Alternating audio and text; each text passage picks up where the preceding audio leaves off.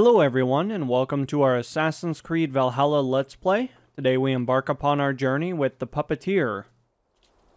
Help me, Wayfarer, or you'll see me in your dreams.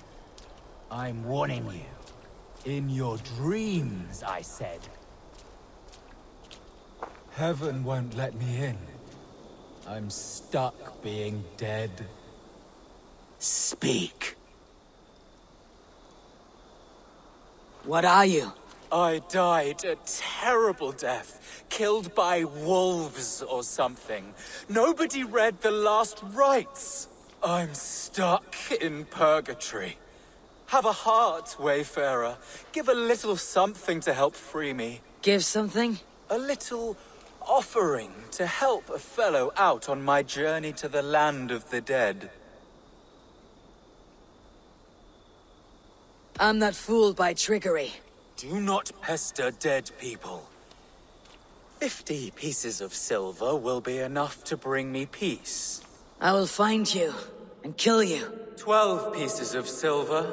You'll soon be dead enough. A head of cabbage? I don't have all day, Wayfarer. You should know the dead do not have an abundance of patience. Wayfarer, where are you going? Get back here! Alrighty, let's call up our trusted companion here and see if we can't locate some stuff. Looks like we do have a building over here, which is usually a pretty good indication of there might be maybe like a hidden entrance or something like that. So let's actually venture all the way over to this particular building structure over here, and from there we should be able to garner some additional information. Potentially there could be a key, or better yet, maybe even a tunnel. You never really know, but it just seems a little peculiar that this guy is kind of encapsulated into this particular area, but then there's also a building on the top, and that's usually a great indication of maybe something that lies within. Of course, it does look like we do have something over here that we'll be able to move. Let's actually grab onto this and see if we can't get it a little bit out of the way.